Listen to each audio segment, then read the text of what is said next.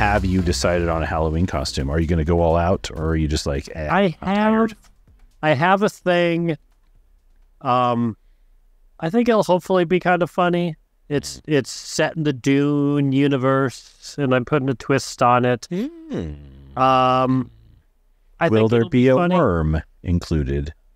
There could be some worm action. Yeah. That's all I'm gonna say. Uh, uh, wink, wink. Uh, I'm not going to be the God Emperor. That would be hilarious, but that would be impractical. I'm going to have a system where I can go walk around easy, work in the costume, and then also have an add on that'll be wacky and ridiculous and really get the point across Right. that I can have when I'm walking out on the street and you know, Yeah. take pictures. For those of you who have never seen Eric, go to his Instagram. I think there's no costume I've ever seen in the history of costumes that's better than Doctor Strange, Crunchwrap Supreme Doc, Doctor Strange. It's it, it's the best. So you guys have to look at this. It's it's insane.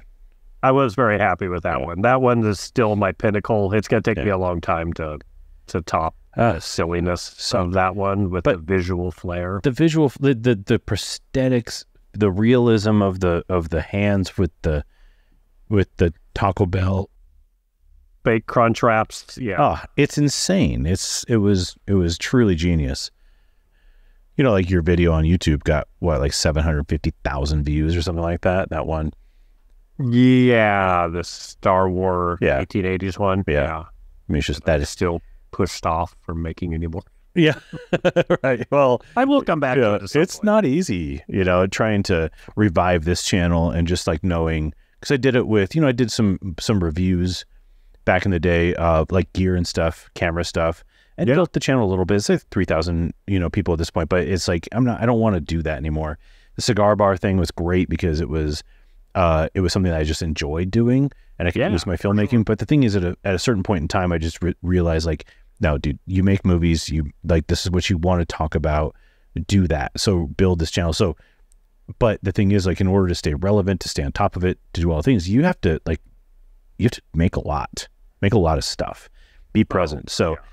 When you have something like you had go like pop off like it did and go crazy, suddenly you're like, you have this obligation. You're like, oh, I got to like scoop up all the momentum I can. But that video took a very long time to make. So Yeah. you're like, yeah, do I I'm want to spend this much time? Stuff. Yeah. Like so for a, for a quick thing for people, it blew up because I happened to drop it on YouTube right when that first iteration of like AI. Um, oh, it's this movie Oh. set in the 50s or set in the 80s. Like dark fantasy Star Wars or Yeah, it's Ghostbusters, but by Tim Burton, like that kind of. Yeah. Or when there's like the Balenciaga, everything was Balenciaga. Um, Mhm. Harry Potter. So it's when still image AI blew up, and so my thing looked like it, the thumbnail looked like it, and my title just happened to to sound like it, and so I rode that wave, and yeah, now I'm it's like at eight hundred and fifty thousand or something because it popped again when the video version of all that swept through this last summer Gotcha. or spring. Yeah. So yeah, but my problem is I'm not plugging things into a computer like Mm-hmm. the AI people where you can just kind of bang them out quick. Yeah. I'm actually making stuff from scratch and filming and mixing live action with miniatures and and it's a ton of work. Yeah. And I work all the time. And Yeah. Yeah. Once it became a job to make more of that content, Right. I was like, "Ooh, I'm done. Yeah. I only make this stuff because I'm free."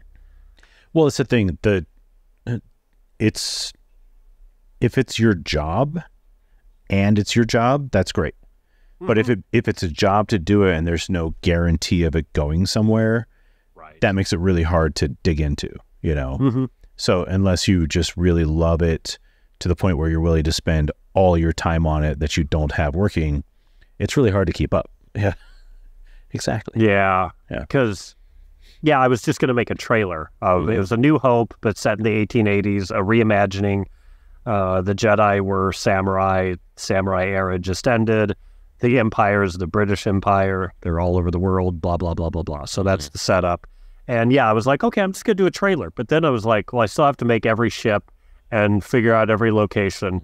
and figure out, you know, and do all the things so it's doable. Yeah. But it would have taken me like two years Yeah. of all my free time, which is rare. And Yeah. yeah, that got really depressing. well, and there's also so there's a couple of YouTubers that I that I follow who do more of the movie stuff, and their whole thing is two, three videos a year, and they do you know two hour, five hour deep dive into something, whether it's Star Wars or there's that one I sent you guys about the the girl who did the deep dive on the um the Star Wars hotel Right. and it's like five hours long or something crazy. But that's the only video she's put out in a year. But she has a million and a half, you know, subscribers. right. So when you've got that level of project to work on, like that is your whole life. But it's just you, your talking head, your writing, and your B roll. With what you were trying to do, you had to do the voiceover, and the only B roll was what you had, what you were filming yourself of mm-hmm. building the models and the details and everything. So it's just like And then that's just that's on a different level of of ambition, you know, to make it work. The people that do proper tutorials and set a camera up over their head Mhm. and film themselves making things, it like I'm amazed just touching that Mhm. and making a tutorial, building a thing. And even then, I literally would make a step and then just put it in front of the camera and go, here was this step, and then go away.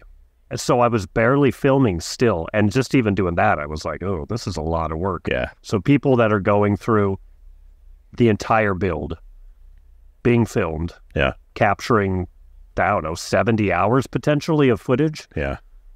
just It's to make like a 10 minute Yeah. tutorial. Yeah. And people just consume it and are like, cool, next, cool, Yeah. next. Click.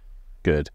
There's a guy uh, who's actually I think he's in Den- he's in Colorado anyways, but Boylei Hobby Time, and he just does models and and dioramas and things like that.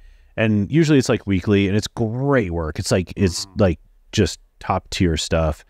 But even that, I'm sure he's just like, can I make something for myself for fun? Yeah.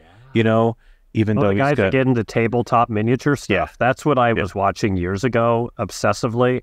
And Black Magic Craft guy and uh, a lot Yeah. of other people. I think yeah, Hobby Town or there's there's a few people that have blown up. But yeah, that's my hats off to them. And I think ultimately when they start blowing up, they pretty much just have to go all in because Mhm. that's how much time it takes and that's their job.